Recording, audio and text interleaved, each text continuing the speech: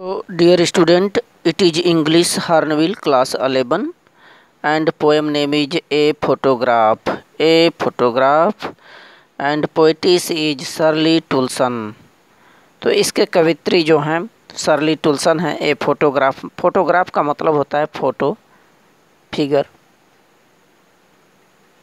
इस पोएम में जो कवित्री हैं सरली टुल्सन जी वह उम्र का ज़िक्र की है किस प्रकार से जो ह्यूमन होता है, मानव जन्म लेते हैं, युवावस्था में आते हैं, फिर वृद्धावस्था और फिर उनकी पुरानी यादें और फिर अंततोगत्वा डेथ होता है। वह इस पोएम में उन्होंने ज़िक्र की हैं अपने उस मदर के बारे में। जब वह छोटी थी, अन्य साथियों के साथ खेला करती थी और उनका फ़ोटो जब वो अपने फ़ोटो को देखती थी तो पुराने दिनों की याद आती है अपने साथियों का, दोस्तों का। लेकिन वह याद ही रहता है क्योंकि एक स्मृति बन जाती है। जो समय एक बार व्यतीत हो जाए, वह एक अतीत का काल बन जाता है। यही चीज़ इस पोएम में उन्होंने अपने उस मदर के बारे में जो कवित्री हैं, ज़िक्र की हैं। आइए पढ़ें और जानें। देखें the cardboard shows me how it was. The cardboard shows me how it was when the two girl cousins went paddling, each one holding one of my mother's hands, and see the big girl, some twenty years or so. देखें यहाँ पर जो कवित्री सरली टुलसन जी हैं, क्या बातें बताई हैं अपने उस मदर के बारे में? The cardboard shows me. Cardboard means होता है फ़ोटो, ऐसा तस्वीर फ़ोटो, जो कि कैमरे में एज ए ड्राइंग टांग दिया जाता है, एक शो के रूप में। The cardboard shows me how it was. वह जो फ़ोटो है, वह फ़ोटो मुझे क्या दिखाता है? उस फ़ोटो को देख करके मुझे क्या लगता है? How it was? मैंने कैसा प्रतीत होता था? उस फ़ोटो को देख करके उन दिनों when the two girls cousins went paddling जब दो चचेरी लड़कियाँ वेंट पैडलिंग माने पानी में थपथपाते हुए चलती थी। Each one holding one of my mother's hand जो दोनों चचेरी लड़कियाँ थीं, चचेरी बहनों की लड़कियाँ। देखिए each one holding each one holding one of my mother's hand और जो दोनों चचेरी बहनें थीं, प्रत्येक मेरी मदर के हाथों को पकड़ी हुई थी। Each one holding one of my mother's hands हाथों को पकड़ी हुए पानी में अपना चल रही थी। देखें द कार्डबोर्ड सोज उस फ़ोटो को देख करके, मुझे क्या लगता है, shows me how it was मैंने कैसा प्रतीत होता था। When the two girls cousins went paddling जब दो चचेरी बहनें वेंट पैडलिंग मैंने पानी में थपथपाते हुए या चलते हुए तैरती थी each one holding one of my mother's hands और प्रत्येक जो दोनों चचेरी बहनें थीं, मेरी मदर के बाहों को, हाथों को पकड़ी हुई थी and she the big girl some twelve years or so आगे कवित्री बताती हैं कि जो मेरी मदर थी, सी मीन्स मेरी मदर, वो बड़ी लड़की थी और करीबन उसका जो एज था, उम्र था, लगभग बारह वर्ष की थी मेरी मदर उस वक्त, जब वे सभी आपस में खेल रहे थे all three stood still to smile through their hair at the uncle with the camera. All three stood. तीनों खड़ी हो गई थी। All three stood still still माने स्थिर। तीनों स्थिर होकर के खड़ी थी। To smile through their hair through their hair मन से अपने बालों में से मुस्कुरा रही थी। खड़ी होकर के, स्थिर खड़ी होकर के तीनों मुस्कुराती हुई अपने हेयर मीन्स बालों में से एड द अंकल चाचा पर। विथ द कैमरा जो कैमरा लिए खड़े थे उन लोगों का फ़ोटो ले रहे थे, जो चाचा जी थे। उन पर ये तीनों जो लड़कियाँ थीं मुस्कुराती हुई खड़ी थीं। देखें, जो फ़ोटो वहाँ पर टंगा है ड्राइंग रूम में, उस फ़ोटो को देख करके मुझे यह लगता है कि कैसा प्रतीत होता था उस वक्त। When the two girl cousins went paddling each one holding one of my mother's hands जब दो चचेरी बहनें, चचेरी जो लड़कियाँ थीं, वह प्रत्येक मेरी मदर की बाहों को, हाथों को पकड़ी हुई किस प्रकार से पानी में थपथपाती हुई चलती थी और जो मेरी मदर थी, वो बड़ी लड़की थी। तीनों में से दो चचेरी बहनें और एक मेरी मदर, वो सबसे बड़ी थी। उसका उम्र जो था बारह वर्ष का था और थ्री स्टूड स्टील माने स्थिर खड़ी थी तीनों। To smile through their hair मैंने अपने बालों में से उन अंकल विथ द कैमरा जो चाचा कैमरा से फ़ोटो ले रहे थे, उनकी तरफ़ देखती हुई मुस्कुरा रही थी तीनों।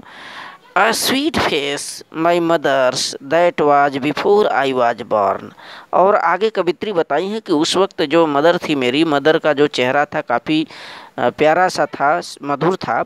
और that was before I was born. मैंने मैं उस वक्त जन्म भी नहीं लिया था। मेरे जन्म के समय आ, से पहले आ, जो मेरी मदर थी बहुत ही प्यारा सा उनका फेस था चेहरा था। आगे बताती हैं and the sea which appears to have changed less और जहाँ वो लोग जिस पानी में खेलती थी उस बात उसकी ज़िक्र कर रही हैं समुद्र की। वह जो समुद्र है जहाँ पर ये तीनों खेलती थी अभी भी लगता है बहुत कम बदला है। Appears to have changed less less माने बहुत कम ही चेंज्ड माने परिवर्तित हुआ है एपियर्स माने प्रतीत होता है। ऐसा लगता है, मानो जो समुद्र है, बहुत कम बदला है। Washed their terribly trans transient feet terribly माने अत्यधिक रूप से वास्ट माने धो रही थी या धोती थी ट्रांसियंट फीट माने उनके अल्पकालिक चरणों को, कदमों को।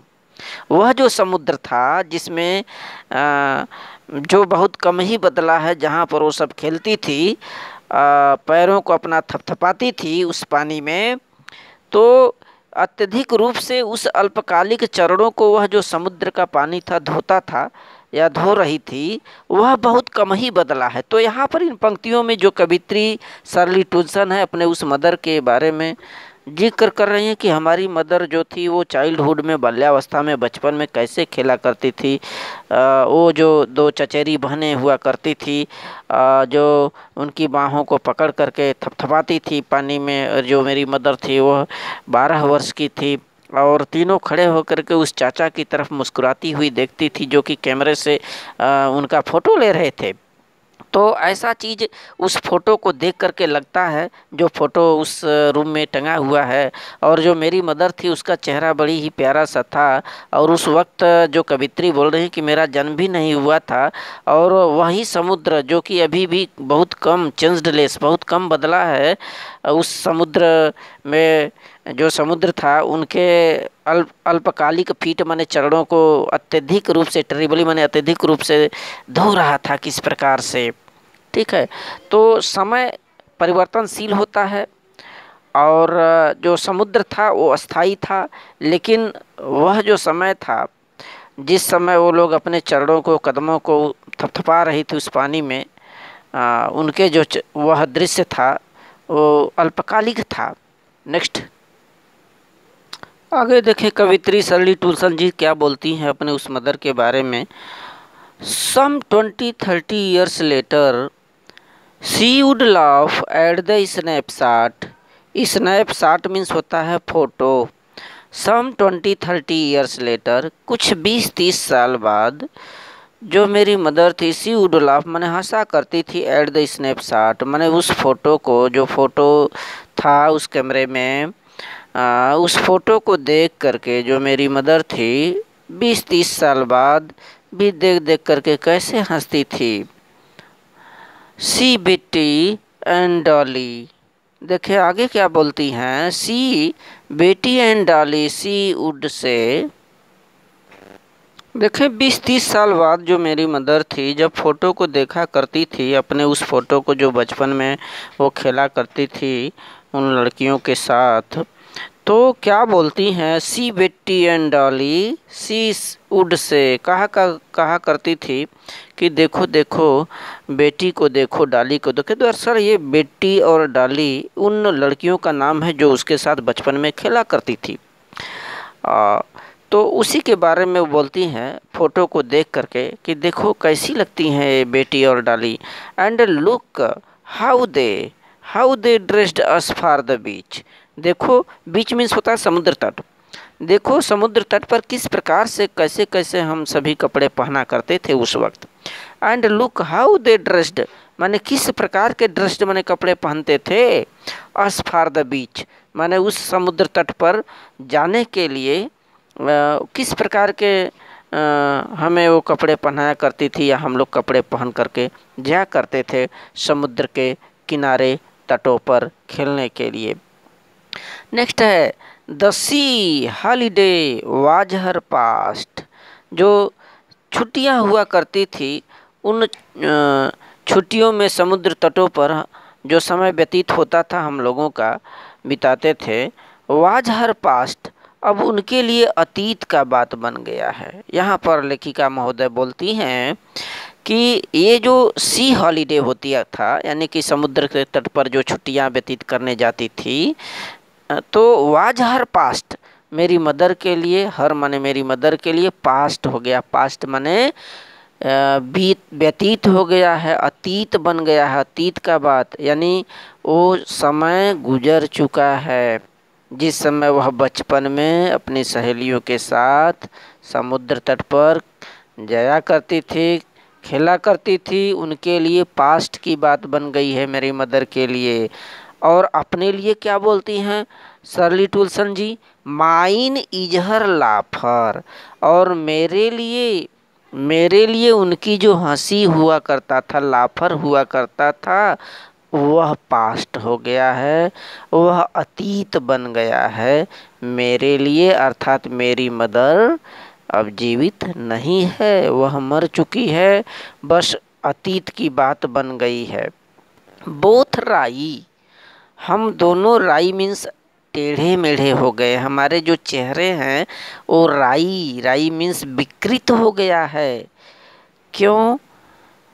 With the labour ease of loss loss माने क्षति पर। नुकसान जो हुआ है बोथ माने दोनों का। एक तो मेरी जो मदर थी, उनका जो बचपन का वो यादें थी, वह व्यतीत हो गया। अब वह लौटने वाला नहीं है और मेरे लिए जो मदर की लाफ हुआ करता था, उनकी जो खिलखिलाहट हुआ करती थी, वह मेरे लिए लाश की बात है, क्षति की बात है। Both wry with the laboured ease of loss. तो यह जो लाश हुआ है, उस लाश से हमारे जो चेहरे हैं वो राई मीन्स ऐंठ से गए हैं या विकृत हो गए हैं विथ द लेबर्ड माने परिश्रम से। मेहनत से ईज ईज ईज माने उस सदमे को काबू में पाने के लिए, उसको नॉर्मल बनाने के लिए जो हमें संघर्ष मेहनत करना पड़ा। उस मेहनत से हमारे जो चेहरे हैं काफ़ी विकृत हो गए हैं। तो यहाँ पर कवित्री सरली टुलसन जी ने बताया कि किस प्रकार से उन दिनों का समय होता था, कैसे वो खेला करती थी मेरी मदर, उन डॉली और बेटी लड़कियों के साथ। और वो जो दीने हैं, उनके लिए अतीत की बात बन गई थी। अब वह वापस आने वाला नहीं है, बट मेरे लिए उनकी जो खुशी थी उनकी, जो खिलखिलाहट, हँसी हुआ करता था, अब वह नहीं रहा। नेक्स्ट पॉइंट आगे देखें, तीसरा पोएम में क्या बोलती हैं कवित्री, now she now she had been dead nearly as many years as that girl lived यहाँ पर वह व्यक्त कर रही हैं, now she had been dead जो मेरी मदर है, अब वह मर चुकी है had been dead nearly as many years as that girl lived कई वर्षों पहले जब वह लड़की जीवित थी एज दैट गर्ल लिव्ड माने जिस प्रकार से यानी कि वह एक लड़की की तरह थी, उस वक्त उसका उम्र बारह वर्ष का था, उस तकरीबन उससे तो उतने ही वर्ष अब भी व्यतीत हो चुके हैं। यहाँ पर बता रही हैं कि she had been dead nearly as many years as that girl lived जब वह एक लड़की थी, उस उस वक्त उम्र बारह वर्ष का था तो बारह वर्ष भी मरे हुए उसको व्यतीत हो चुके हैं। And of this circumstances of this circumstances there is no nothing to say at all circumstances माने घटना या परिस्थितियाँ। आगे पेश करती हैं, बताती हैं कि इस घटना के बारे में, इस परिस्थिति के बारे में मुझे कुछ भी नहीं कहना है। There is nothing to say at all मुझे कुछ भी नहीं कहना है। इट्स साइलेंस साइलेंसेस इसकी जो चुप्पी है, इस घटना की जो चुप्पी है, मुझे शांत कर देती है। मुझे चुप कर देती है। अर्थात उनके जीवन में, यह कवित्री के जीवन में, यह जो घटना थी, बहुत बड़े सदमे वाली बात थी। अर्थात वह कह गई कि जो जीवन है, वह नश्वर है, क्षणभंगुर है स्थायी नहीं है। इस चीज़ के बारे में उन्होंने बताया और जैसे जैसे समय बीतता जाता है, पुरानी यादें यादस्त बन जाती हैं। तो स्टूडेंट इसको रिवीजन कर लीजिए। Thank you.